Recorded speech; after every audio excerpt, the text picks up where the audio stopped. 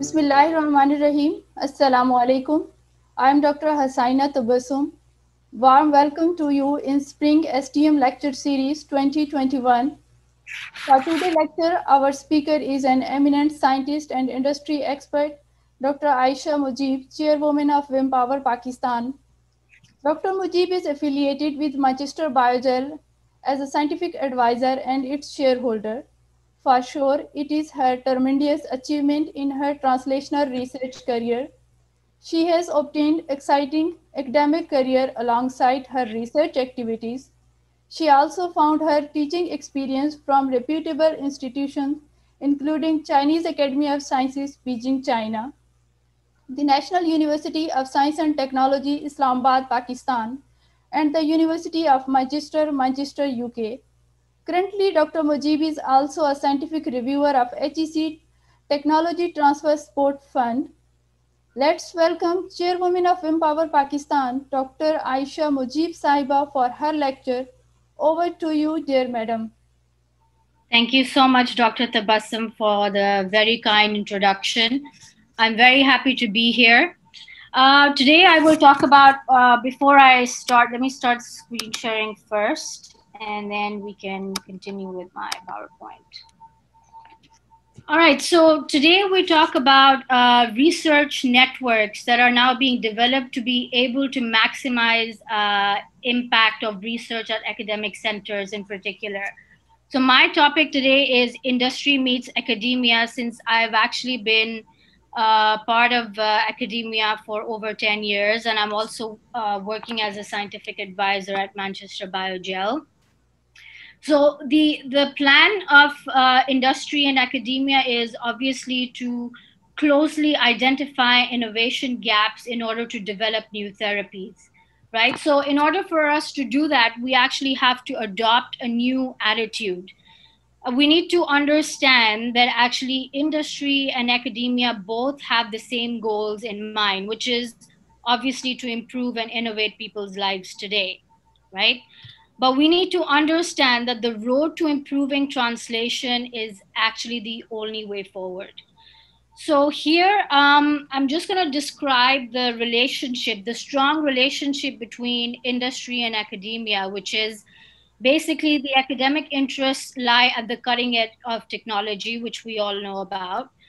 Uh, they create and innovate and further inspire technologies. Whereas the industry perspective is to number one, create, right? Gain a competitive market. Also, in order to commercialize faster, they work very, very hard. And as we all know, that industry is very, very market oriented. So we need to understand the B2B of the business. Right, so before I start my presentation, I just want to uh, go through my research journey. Obviously, I will describe my PhD work uh, that was conducted at University of Manchester under the supervision of Professor Aline Miller and Professor Alberto Saiani. And uh, this further led to the development of a spin-off company called Manchester Biogel, which is up and running. It's been over five years now. I will also share some of my uh, research experiences as a postdoc in China I was working at Peking University as well as the Chinese Academy of Sciences. Uh, had an amazing time in China. And also, furthermore, I will highlight some of my synergistic activities that I'm involved in. So, this is something that uh, I will share with you today. I think Dr. Tabassum has already given a very uh, kind introduction, so I will skip this slide. I will start off with uh, focusing on my PhD research work, which was on tailoring self assembled octapeptide scaffolds for in vitro chondrocyte culture. Now, what we did here is if you're a material scientist, you would understand the term self assembly.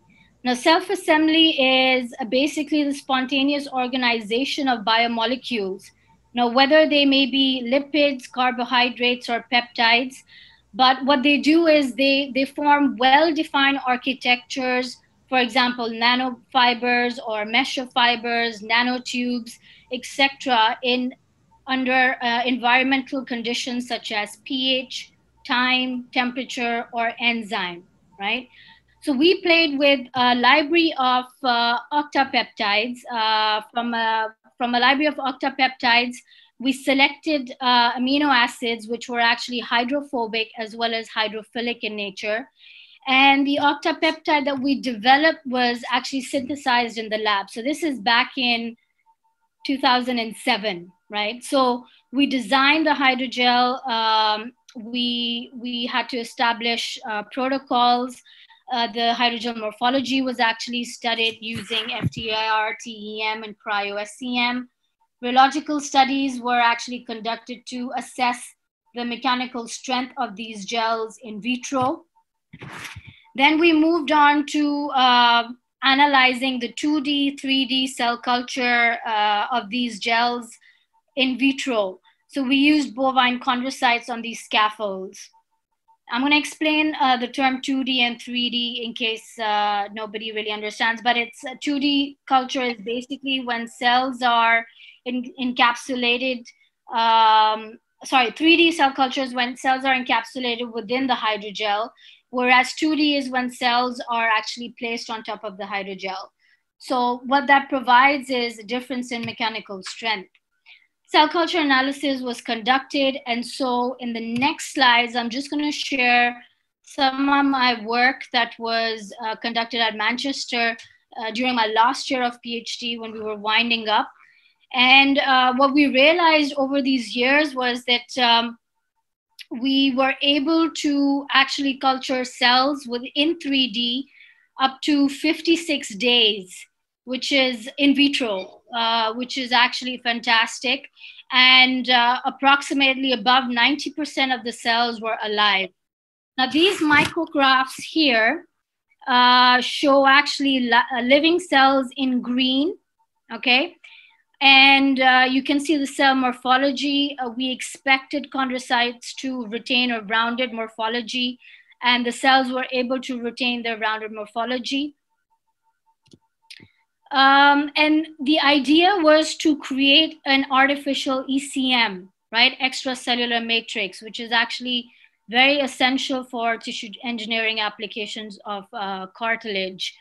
So what we assessed was whether the cells were producing collagen type 1 or collagen type 2. And what we realized from these micrographs was that basically at the end of day 25, um, chondrocytes had actually deposited a lot of collagen type 2, which is very, very typical of uh, chondrocytes, which meant that the, the hydrogels were providing the the mechanical strength to these cells in order to uh, produce their own ECM. So the results were quite hopeful.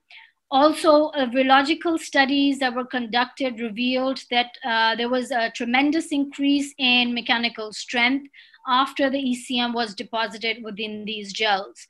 And so we took this work forward. We developed a lot of protocols uh, in order to test them as injectable system, as sprayable systems, um, and just for subcutaneous uh, uh, implantation. And so taking these ideas forward, taking this work forward, uh, Professor Aline Miller and Professor Alberto Saiani, they set up a company called Manchester Biogel and um, I was given the honor of actually uh, participating uh, and setting up the, the, the labs at the BioHub in Alderley Park. And also, um, I'm currently the scientific advisor at Manchester Biogel. Now, just to give you uh, an overview, now why this is all so important, why is research so important? It's because it provides us with an opportunity to actually conduct translational medicine, right? And so uh, with Manchester Biogel, uh, we felt that uh, the peptide hydrogels that we uh, sort of uh, developed at University of Manchester were actually not only stable in vitro, but they were also stable in vivo, right? And so um, the team at Manchester Biogel has is internationally recognized, and it combines complementary research expertise uh, to deliver a unique, innovative translational solution, which is uh, which is fantastic. Currently, uh, the need uh, currently, I think the uh, the plan is to offer a cost-effective means of healthcare delivery. So uh, the applications I will discuss later. So it's the the idea is to close gap between what we know and what we research. I think that sort of is very very important when you're considering uh, when you're considering industry and academia relationships. Now, benefits of research into clinical medicine. That means that we are trying to find medical solutions from bench to bedside, right? That's the approach that we're trying to develop. Now, with the advent of technology, of course, uh, it opens up new avenues uh, which give rise to new therapies, new technologies, etc some of the, the applications that are being used for this peptide technology platform include 3D cell culturing, you've got regenerative medicine, uh, in vitro organ models, uh, which we, are working on in collaboration with other universities, for example, UCL. You've got uh, vaccine development, drug delivery, and biological delivery. So this is what we're doing at Manchester Biogel. Again, some of the attributes which I'd like to highlight before I move on to my other research works is that these peptide hydrogels are actually animal free, they're reproducible, they're definitely biocompatible, ready to use, which means that you can just open up the pack and start using these hydrogels. Now they can be used as printable, injectable, and sprayable materials. Um, of course, the journey was not easy. It's been very, very uh, exciting, but also very, very difficult because for any startup to to reach a certain uh, point, of course, it takes a lot of hard work, a lot of sleepless nights. So um, the plan is obviously shown here, which I will uh, discuss very briefly. And the reason is because we're trying to highlight um, how industry academia linkages can actually form. So starting off with the marketing material, promotional branding, that uh, goes hand in hand with what the work, uh, what type of work is being conducted. So SOPs were formed, uh, the, the setup was actually moved from University of Manchester to the BioHub at Alderley Park which is actually a very nice science park. And so from there, uh, that's where the production unit is, and that's where the sales are made from. We started off with small distributions. Uh, there was an EU launch, there was a USA launch, and there was um, a launch uh, also in the ROW. Uh, which the, the idea was basically to demonstrate, disseminate, and educate people about this new peptide technology platform. Okay. Moving forward, um, I'd like to congratulate uh, Professor Aline Miller, who's actually just been appointed Associate Dean for Innovation and Business Engagement at University of Manchester. We're actually currently in the, in the process of writing a book chapter together on peptide bionanomaterials from design to application, where we will discuss more about the importance of industry and academia linkages and how we can actually expedite the process of, of uh, forming a product at university and taking it to market. Right, just acknowledgements. If you'd like to know more about their work, uh, please visit uh, the website Polymers and Peptides Research Group. Also, if you'd like to know more about Manchester Biogel, here's the web website link. So feel free to browse whenever you can. And if you have any further questions, please get back to me. All right, so um, here I will describe uh, the work that was actually conducted in China as a postdoc. And uh, Professor Ge uh, is actually currently working at the College of Engineering, and they develop uh, biomaterials for cartilage uh, engineering um, using biochemical and biophysical cues, which actually affect the internal structure and the cell phenotypes in 3D in vitro uh, application. So I'm just going to describe one of the projects that I was involved in. Uh, I spent two years at Peking University, uh, and I learned actually a lot. And so the the project that I was working on initially was on biomaterials decorated with RGD peptide. So my work, my expertise basically lie between the biomaterial and uh, cell interface, right? So we developed um, a peptide sequence that we added to uh, our polymer hydrogel in order to investigate the effect of tailoring RGD concentration, right, on ECM production. Again, ECM production is actually very, very important, which we monitor. And the reason is because we want the cells to produce the correct ECM, right? Extracellular matrix is basically uh, tissue of the cell. So we understand that if the correct ECM is being produced, that means the cells are happy within the hydrogel, they, uh, they are mechanically stable, and so they can be used as implants. So here we categorize our scaffold, and here's a micrograph showing uh, PEG hydrogels, which is uh, a polymer. And so we, we added the RGD sequence uh, and the sequence is actually given in the legend in the caption below.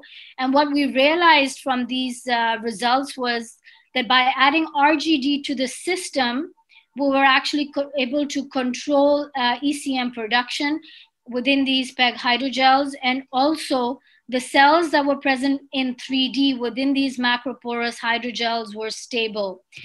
And so we carried out different types of tests in order to really understand what's going on within these 3D structures.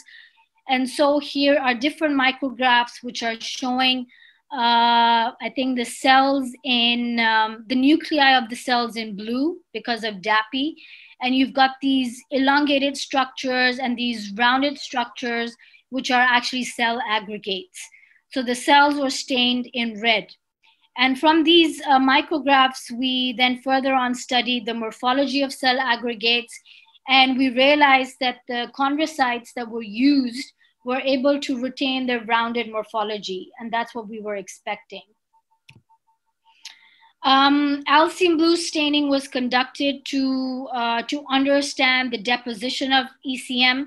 So ECM actually, of course, is a cocktail of biological molecules. For example, you've got peptides, you've got carbohydrates, you've got lipids, you've got the cytoskeleton. So what we were trying to assess was that yes, the cells are uh, retaining the rounded morphology, which means that they would be depositing the correct ECM, which would be full of collagen type 2, which is typical, and GAG, GAG, which are, which are actually uh, proteoglycans. In other, in layman terms, carbohydrates. So there was a lot of GAG deposition within these cell aggregates, and we've actually published uh, numerous papers together and if you need uh, more info about the work that was conducted, uh, please go through this list and uh, feel free to contact me if you have further queries. Right, so during my stay at uh, Peking University, uh, I, we applied for a, for a grant, which, which was the Sino-Swiss Science and Technology Cooperation Exchange Award grant. And uh, I was lucky that I was uh, offered a position at uh, Professor Marcy Zenobi-Wong's research group at ETH Zurich. It was a very nice place. People were very friendly, and the work that was carried out was actually on um, on hip uh, replacement joints of, of uh, human beings, obviously, who went through hip flap um, uh, chondral uh, lesions.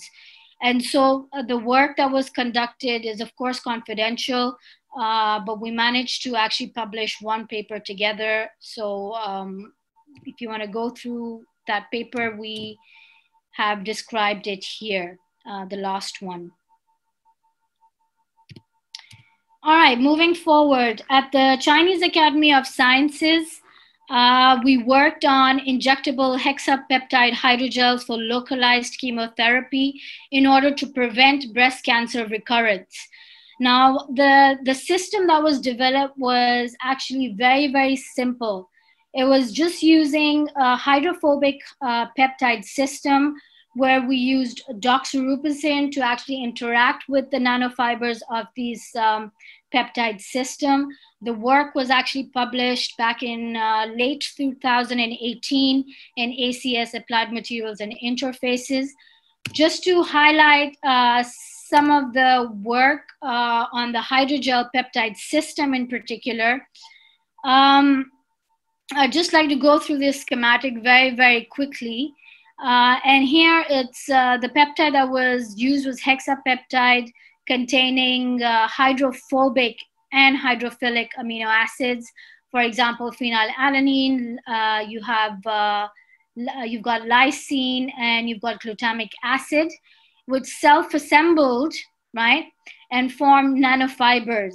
Now, in the process uh, of adding doxorubicin, we realized that the mesh of fibers actually increased in uh, density. And so we realized over, over time that these uh, fibers became denser. And so we wanted to study the interaction between doxorubicin and our peptide system further. Uh, we carried out several in vitro experiments, but here I'm just going to focus on the in vivo work that was conducted. Um, the in vitro work was quite successful. Uh, the, the system was highly stable. So in vivo, we, uh, we actually uh, loaded the hydrogel into nude mice at, uh, at uh, day nine, which is actually shown here. We injected the hydrogels with doxorubicin uh, subcutaneously. And uh, from these, uh, these micrographs, you can see by day nine, day 18, day 27, there was actually a reduction in the size of uh, breast tumor in, um, in nude mice at day 27. So from these, uh, from these graphs, you can actually evaluate uh, the effect of the peptide plus dox um, integration into uh, the animal, actually into subcutaneously into the tumor site. And so uh, we actually have the control group. We, ha- we just used plain peptide. We injected uh, with dox. Obviously, there was a lot of leakage because it's a solution. However, when uh, when the doxorubicin was encapsulated within the peptide hydrogel, you can see that there was an actual reduction in tumor volume. It's actually shown in figure D over here. Furthermore, we uh, we also uh, affected the uh, we also checked the the efficacy using hydrogel localized chemotherapy again in uh, breast cancer model. We extracted or excised the tumor from nude mice in order to evaluate what happens at uh, day 31. And uh, from this image C, you can actually uh, you can observe that there's actually a reduction in, um, in tumor size at uh, day 31. Uh, the work again has been published, so if you have any questions, please feel free to ask more about the system and how the work was conducted. Um, again, what we realized reduced tremendously in comparison. And also, uh, we evaluated that this peptide hydrogel can actually be used as a stable drug delivery system, in particular for doxorubicin. We've not actually uh, tested it on uh, any other drug as yet, but with doxorubicin, it worked wonders. Um, at the Nano Center, I was also involved in different uh, projects, obviously, uh, mostly in uh, drug delivery systems, uh, evaluating their stability and understanding their behavior in vitro. So I guess uh, that's about it from uh, my end with regards to understanding the importance of industry and academia relationships. I'd like this session to be an interactive session since we don't have a lot of uh, speakers online at the moment. So we can have an interactive session where I'd like to know more of your views, what you think of how the industry can actually help academia uh, to expedite uh, commercialization further. I would uh, then like to talk about uh, We Empower Pakistan as an organization which is obviously uh, currently working in uh, Pakistan as well as China, in the US. So uh, let's stop here first and let's see if we can um, have an interactive Q&A with regards to my current research topic. Over to you, Dr. Tabassum. Thank you so much, Dr. Ayeesha Mujeeb. And uh, if anyone have question, please ask. That is very interesting topic and that is closely related with the real world science. So please ask if you have any question. I would like to ask a question regarding uh, the last slide uh, that's being shown over here. Uh, I want to ask that uh, the size of the tumor was uh, decreased after the chemotherapy. So, were there any observed side effects to the chemotherapy? Yeah, that's actually a very good question, Faiza. So, uh, the dose of doxorubicin that we were using uh, was actually very, very safe. So, there were no side effects, fortunately. And we also conducted MR- MRI where we we uh, assessed where these nanoparticles were actually moving. So they were in the kidney and they were in the spleen, but they were removed from the system within uh, 10 days. So there were actually no side effects as such. The dose that we were using was very, very safe. Thank you so much. You're welcome. So, anyone else? If you have question, please ask. Anything related to uh, uh, building uh, industry academia relationships, or you know, we can have an interactive session where we can discuss how we can. Maybe some of you have an idea where you can, uh, you know, you would want to take a product forward, but you don't know how to, or you know, you're still contemplating maybe